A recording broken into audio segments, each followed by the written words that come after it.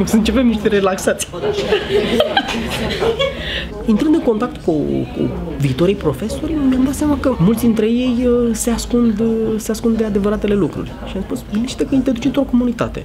Fie că este comunitate de romi, fie că e comunitate de maghiari, fie că este o comunitate mică într-un cartier. O să ai de-a face cu multe lucruri pe care uh, nu le cunoști probleme etnice, dar nu simțeam că sunt în momentul acela stăpâni pe, pe ei. Nu am făcut decât să duc în, în prim plan conștiința lucrului ăsta. Gândiți-vă că sunt probleme mult mai grave în comunitate pe care noi ca, ca oameni nu le luăm în considerare, nu le știm. Mi-am dat seama că improvizația te învață cu adevărat să gândești, este o formă totuși de terapie pe care o poți folosi să conștientizezi fricile și temerile. E normal să fie așa, nu, nu poți să judeci un om care vine dintr-un loc în care totul a fost bine și frumos și la un moment dat are de-a face cu un copil care vine într-o comunitate în care poate fi abuzat. Responsabilitatea înseamnă să ai și grijă față de ceilalți cumva. De fapt se cheamă Will and Grace. Avem noi un, un principiu foarte frumos în improvizație.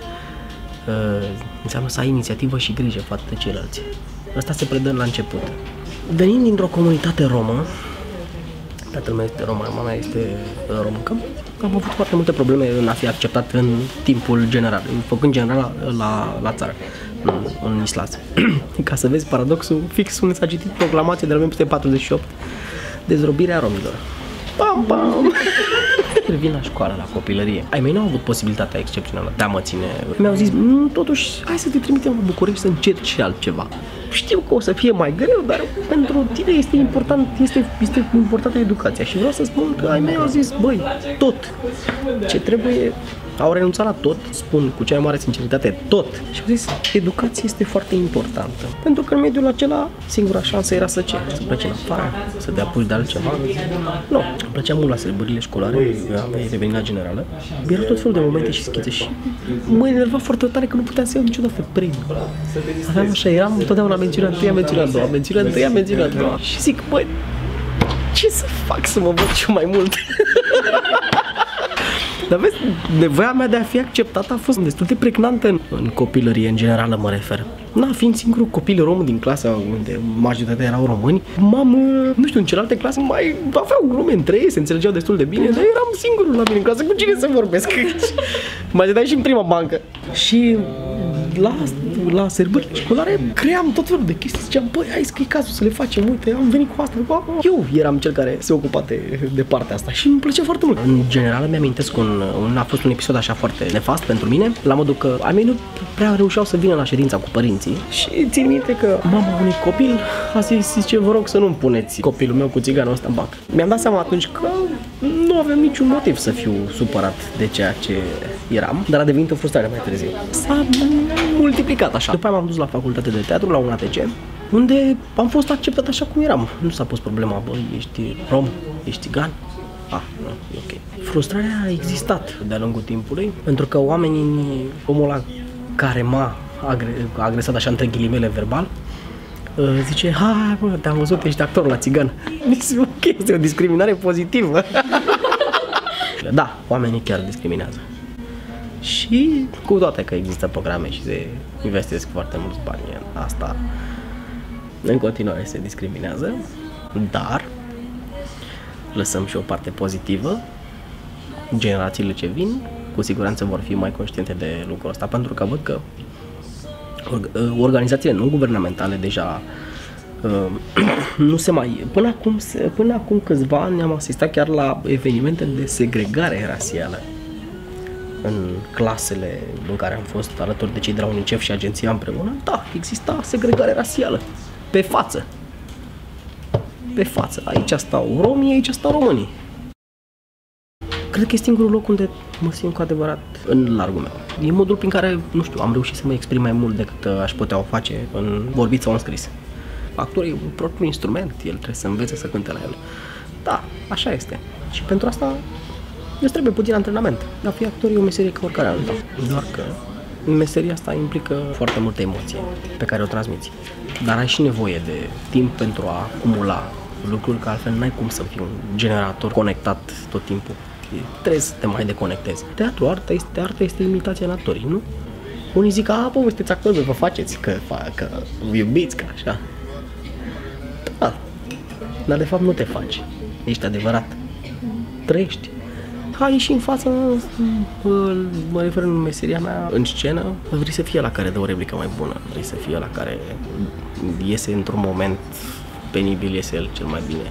Nu, identifică-te cu grupul, ești alături de grup. Am pus accent foarte mare pe frici și pe temeri. E, e destul de ușor să vorbești despre ele acum, pentru că noi nu știm care sunt fricile. Și mie îmi place prin laboratorul acesta de teatru de improvizație pe care uh, eu l-am alături de colegii mei, să descoperim lucruri cu oamenii. Fiecare grup are, are, un, are un mod de a face lucrurile. Grupurile sunt diferite, la fel ca și publicul. În România nu există un teatru, un teatru al romilor. Și la nivel uh, oficial, comunitatea romă este a doua ca număr. Romii nu au un reprezentant în zona asta și probabil că nu se dorește deocamdată. Mi-am propus de, de foarte mult timp să facem teatrul rom. Am început printr-o asociație, am început cu Caragiale, la care cineva din mediul online a zis, ha, l-ați furat și pe ăsta? l-ați furat și pe ăsta, da, da, da, da. și există prin munca uh, pe care colegul meu Sorin Sandu a tradus în limba romanii operele lui Shakespeare. Și am jucat într-un spectacol intitulat Noaptea Fortunoasă a lui Caragiale, cu o distribuție exclusiv formată din actori romi. Și a fost destul de greu. Am fost cu Sorin într-un proiect e, pentru copii. El continuă, din păcate n-am putut să continui pentru că am avut foarte mult de lucru la teatru în perioada asta, dar se știe foarte multe despre a, ce este teatru rom, mă?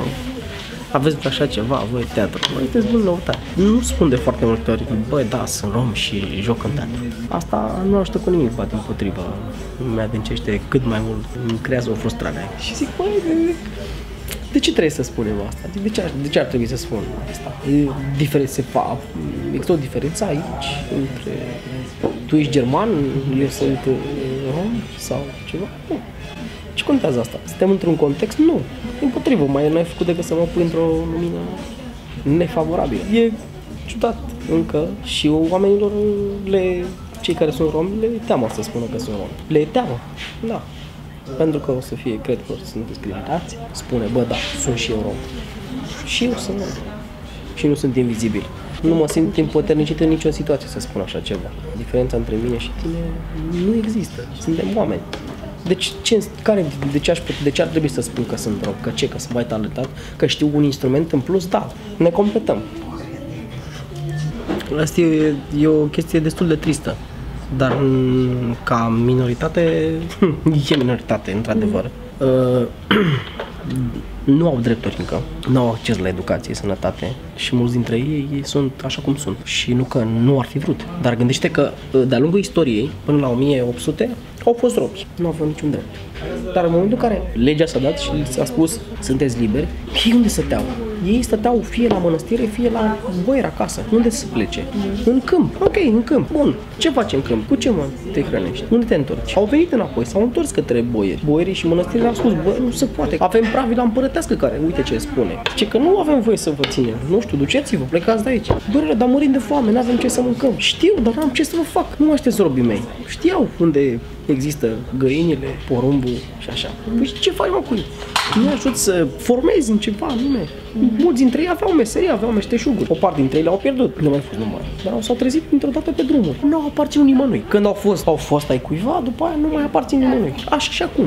Ei nu aparțin societății. Ei sunt cumva, de asta sunt și marginalizați. O parte dintre ei și care reușesc, reușesc pentru că fie prin forțe proprii, fie prin forțele prin familia este sau școala îi identifică și îi trimite într-o zonă mai bună. Am întâlnit cazuri alături de cei de la UNICEF în care copiii spuneau că fugeau de acasă pentru că le era nu vreau să mai vândă fier cu părinții și vreau să vină la școală. Și copilul a învățat lecția din clasă. Și profesorul a spus, domnule, zice, ce doamne, este copilul ăsta, este excepțional, am în clasă o groază de români. Dar copilul ăsta sărac învață și este, este forțat să se ducă la muncă. La un copil de clasa 5 a 6 să ridici zeci de kilograme de fier în mână, zeci ce înseamnă asta. E trist, nu este într-o cafenea aici, dar oamenii plâng, le e greu, n-au ce mânca pentru că nu. Asta a fost situația în care s-au născut. Ei nu sunt vinovați pentru asta. Și pe lângă asta mai avem și tu pe o să-i jignim pe unul dintre ei să spună, a, bă, că ce, bă, după la traumă mai adaug și insulta asta. Nu e de ajuns că distrugi într-o dată și din normal că la se revoltă împotriva sistemului și se crede un rob, un, el, el, se vede un torționar, el, vede să, el vrea să răstoarne. Ce faceți, nu? Faceți pe mine în fel, fel și chip și de asta se întâmplă cazurile astea în zona asta urbană. El nu mai e preocupat de lucruri înalte. El când are mâncare știe că trebuie să petreacă. Ce ne ajută pe noi să înțelegem lucrurile astea e să ne scuturăm puțin și să înțelegem contextul și să zicem, bă, da, ok, bun, trăiesc bine. Acum trăiesc în afara comunității.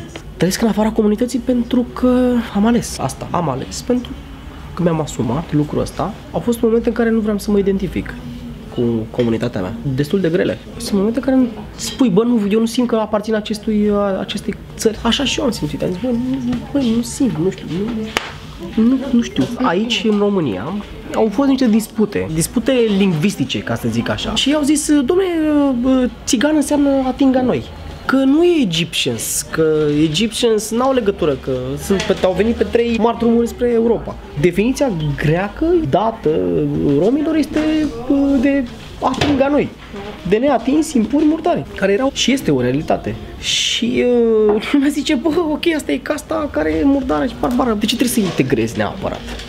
Cu ce ajută chestia asta? Păi de ce au plecat? De ce au plecat ei din India, din partea de nord a Indiei, din Punjab? Au plecat de bine? Nu, plecat nu le era bine și nu se diferențiază cu nimic, nici portul, nici muzica, nici vorbirea. Dar e vorba despre stereotip. Oamenii ca să poată înțelege un lucru, trebuie să-l încadreze în ceva. Îți trebuie cunoștințe, îți trebuie să poți să mergi mai departe să înțelegi lucrurile astea. Uh, colegul nostru de trupă, Sorin Sandu, se întorcea de acasă din Alexandria. Venea de acasă și după stătea la cămin. Și când s-a întors avea banii să-și vedească taxa la cămin. Fiind foarte bronzat și cu părul creț așa ondulat, în tramvai s-a uitat lumea lângă el, așa s-a uitat așa foarte ciudat la el. Și săracul a pus mâini, ambele mâini pe bară, să, pe bările de la tramvai. Și ăștia au furat banii, mă. El romi fiind. Iată, am fost în, în țările din Europa, în Italia. Singurul lucru pe care l-am făcut, în momentul în care am stat de vorbă cu cineva, nu din, din lipsă de respect, da. dar am vorbit în română. Uh-huh. Și reacția nu vrei să știi cum a fost. În Franța a fost cea mai usturătoare. Lângă Louvre, după ce am comandat și am mâncat, după nu știu, fix 10 minute cineva a venit și ne-a zis ce serviciul meu s-a terminat, o să vă rog să mă achitați. Zic, băi, dar stai puțin, zic, lângă noi erau oameni care vorbeau franceză sau vorbeau în altă limbă. Băi, nu, la noi s-a cerut, imediat s-a cerut, s-a cerut. Da, și se, nu se duc acolo pentru că Uh, nu se duc acolo pentru că vor mai mult, vor mai, să fie, fie mai bine. Uh-huh. Vor să facă ceva. Iar din păcate, pentru că nu știm să ne arătăm adevăratul statut. Da, frate, suntem muncitori, da. Putem să facem asta, suntem serioși. O, chiar suntem, chiar ne asumăm asta, pentru că știm ce înseamnă să nu ai. Și am fost obișnuiți cu neavândul, da. neavutul. Da, asta eu cred că am avut o parte asta în care bă, dai mie un cadou. De ce îmi dai mie cadou ăsta? Pentru că nu, eu, eu, nu mă, eu nu aveam o stimă de sine mm. destul de ridicată. Self-esteem meu era foarte scăzut. Foarte, mm. foarte scăzut. Asta ca mine, ca, pentru mine ca om. Și mi-a fost greu până am înțeles chestia asta. Cineva mi-a spus odată, o tipă care a fost prin India și mi-a spus, bă, zice, ai fost foarte bună în țara asta. Și eu am zis, bă, nu, mă, că... Ai, trebuie să joc mai bine. Ce nu, pentru mine asta a fost foarte bine. Dar știi ce m-a deranjat acum? Că n-ai știut să spui mulțumesc pentru complimentul pe care ți l-am făcut. Opa. Zic că da. Asta e. E, e, e foarte frumos să primești cu să știi să primești lucruri, să înveți să primești. Vezi că asta e și iubirea, bă, o dai, da, și o și primești. Înseamnă că e, o, e un blocaj emoțional care se întâmplă undeva acolo. Da. Trebuie să-l Trebuie să deblochezi. Uh, uh, deci nimănui nu pasă dacă ești trist sau fericit, așa că ai putea fi la fel de bine fericit. Act now, justify later. Hai să bem! Hai, S-a fost citatul, hai să bem!